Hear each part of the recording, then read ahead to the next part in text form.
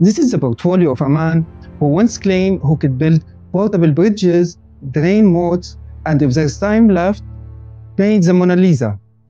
In 1482, Leonardo da Vinci wrote a letter to the Duke of Milan. It was the original hire me direct message. Today, we are giving that letter the digital home it deserves. But we are not doing it the old way. We are letting AI multi-agent multitask as hard as Leonardo did.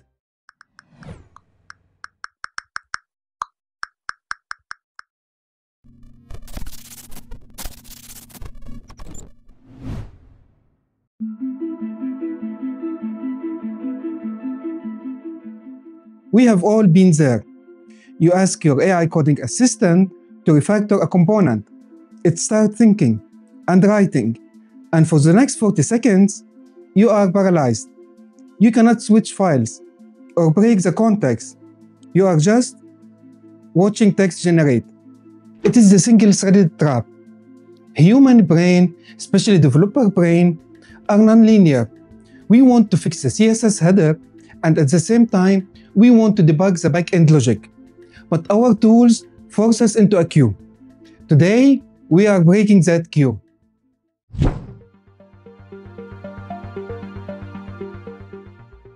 By the end of this video, we will have a fully responsive multi-page portfolio for Leonardo da Vinci. We are going to build the engineering section and the art section at the same time. We are using Verdent.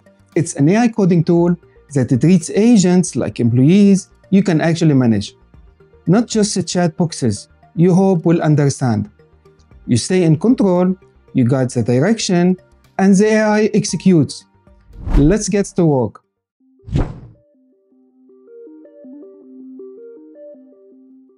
Here's the raw text of Leonardo's letter.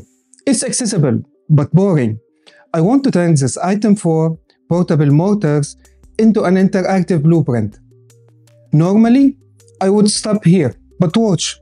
While that agent is grinding on the JavaScript, I'm spinning up a second workspace. Notice that. No interference, no context bleeding, two complex features being called simultaneously. That's what we are aiming for.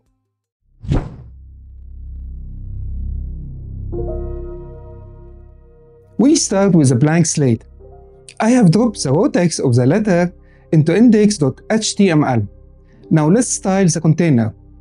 The base agent handles the global styles, but the other agent lists method of burning ships right next to sculpture in marble. Always verify your base styles are committed before branching out tasks. It keeps the merge clean later.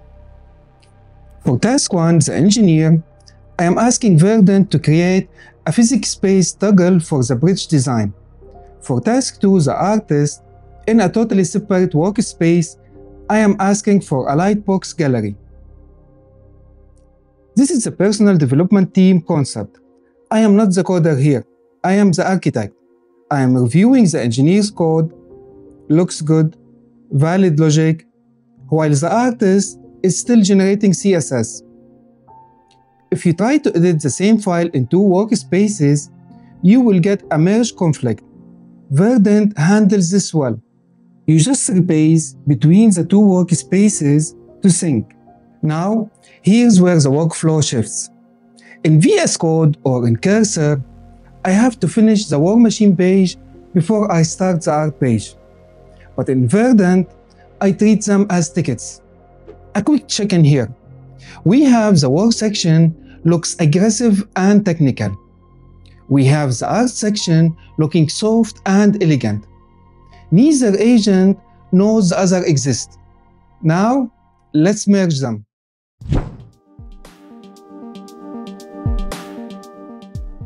Now, we need to talk about why this feels different. When I first tried running multiple AI tasks, I kept hitting the same wall. Context pollution. Usually when you iterate on AI code, the context window gets muddy. Previous instructions bleed into new ones. You ask for a dark scene, and somehow the agent remembers you wanted rounded corner three prompts ago on a completely different component. Verdent handles this differently. Every time you click a new task, you are not just starting a new chat, you are effectively branching the repo, creating an isolated environment, and deploying a dedicated agent. You can experiment freely. Breaking the code into workspace B doesn't matter. Workspace A is pristine. I have started treating failed experiments as free because they are. The isolation makes it fearless coding. Link to try it is in the description.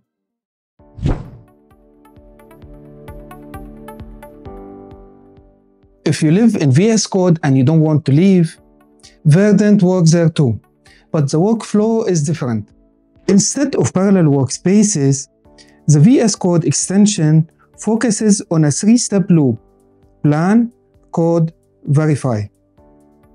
First, the agent breaks down your request. You see the reasoning.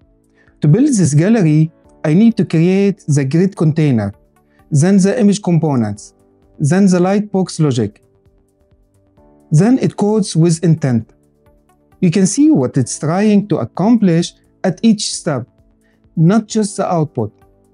Finally, it verifies its own work, runs the logic, catches errors before you do. The result is more accurate code on the first pass. Fewer why did it do that moment. For linear single focus task, this workflow is excellent. For parallel chaos like today's build, the standalone app is where I live. It's important to note that both tools share the same AI backend, so choose based on your workflow, not capability.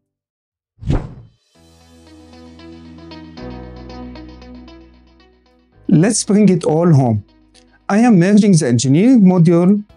Done. Now the art module. Verdent detects the changes because we kept the component modular. The merge is seamless. In a linear workflow, this build took me about 45 minutes. Running these agents in parallel, we just clocked in at 18 minutes. That's efficiency you can feel.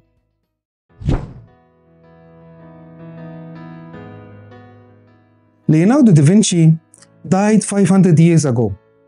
He never saw a line of code, but he understood the value of doing many things all at once with intense focus.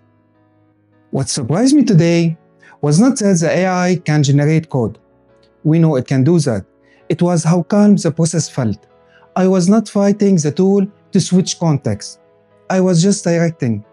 If you want to try Verdent, the link is in the description. It's free to start, and for complex projects, it's a breath of fresh air. If you enjoyed this tutorial and learned something new today, like, subscribe, and hit the notification bell. Finally, I am Atef Ataya. Keep learning, and I will see you in the next one.